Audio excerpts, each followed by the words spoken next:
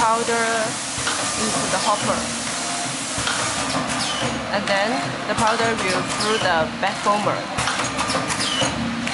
The machine will make the bags and selling well.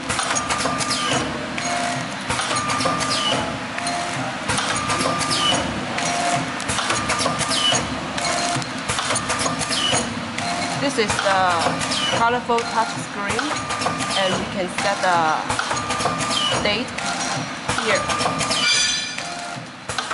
It's the temperature controller and we can set the temperature here